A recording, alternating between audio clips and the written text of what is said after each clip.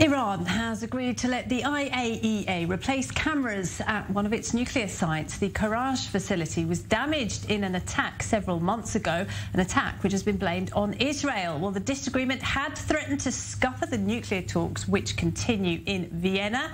However, the UN's nuclear watchdog will only have limited access to the footage at that site. To talk more about that, we're joined by Barbara Slavin from the Atlantic Council. And thank you very much indeed for being with us today tonight. So, um, first up, is this a concession by Iran? Is this a signal that they are now willing to allow some monitoring of uh, the nuclear facilities? Well, it's a very small concession. I think uh, once again, Iran realized that if it did not reach an agreement with the IAEA, it would be facing probable censure. Uh, the the U.S. has threatened to call for an emergency session of the Board of Governors of the IAEA before Christmas uh, to censure Iran if this was not resolved. So they're doing the minimum required, I think, to stave that off. Uh, still, the level of monitoring is not what it should be. It's not what it was under the JCPOA.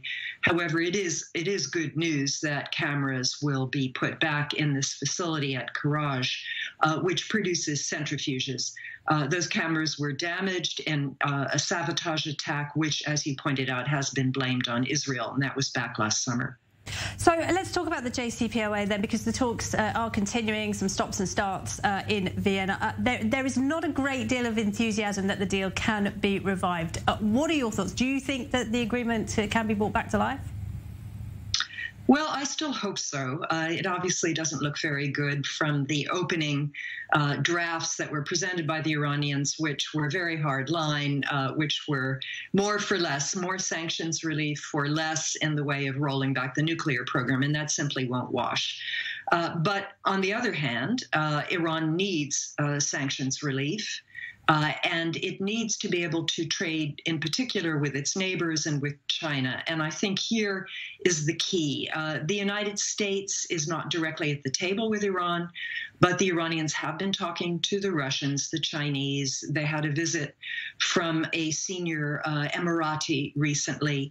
And I think they understand that if they're really going to be able to improve their economic performance, uh, you mentioned Saudi Arabia in the headlines had a had a banner year. Iran has not. Um, if they're going to improve that record, they're going to need to be able to trade more freely. They're going to need to be able to sell more oil and have access to the international financial system, all of which they lack now. Now, Israel, of course, uh, says it will never allow Iran to uh, to possess a nuclear weapon, and there have been uh, noises about military strikes uh, this week. The Defense Minister Benny Gantz was in Washington last week. Is it only a matter of time, do you think, before Israel goes it alone and strikes these nuclear facilities? I think this has more to do with domestic Israeli politics than it does with any feasible plan. Uh, Israel does not have the capacity to mount uh, the kind of military operation that would be necessary to really set back the Iranian program. It would uh, cause all kinds of collateral damage in terms of radiation that could spread and kill Iranians, that which which would be a war crime, frankly, would lead to retaliation by Hezbollah. So I think this has more to do with Israeli domestic politics and jockeying. You may have just seen that the United States has told Israel that it will not receive uh, tankers for refueling in midair that Israel had requested until 2024 at the earliest. And the Biden administration is not going to support uh, a military strike. So I think what we're looking at are economic and diplomatic moves if we can't get the JCPOA back on track. So, do you think Iran, uh, Israel's concerns about Iran's nuclear program are, are unfounded? Then we, we have heard from uh, UN officials that uh, Iran does have more uranium enrichment than it has uh, at any time in the past. Is, is that an unfounded fear? No, it's not. Israeli concerns are not unfounded, uh, but I still think it's unlikely that Iran would actually develop nuclear weapons. I think what they want is this hedging capacity. So it remains an issue and it remains a, a point of pressure and leverage, particularly with, with the West and with the United States.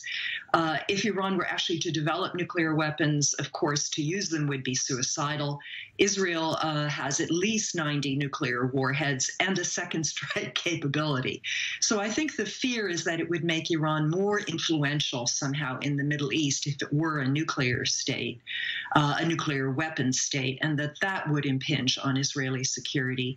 But it's it's sad to say Iran is already influential without nuclear weapons. So I think Israel has other issues with Iran. And, and, and just briefly, um, if, if you could, how important is the, the, the stance of the Gulf states regarding Iran? Because that has changed over the past year, hasn't it?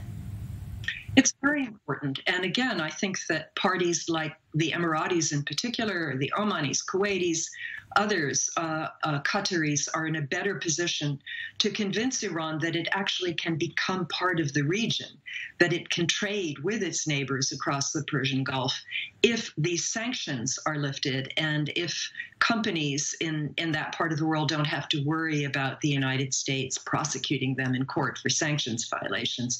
I think they are better messengers of that than the United States or Europe is at this point.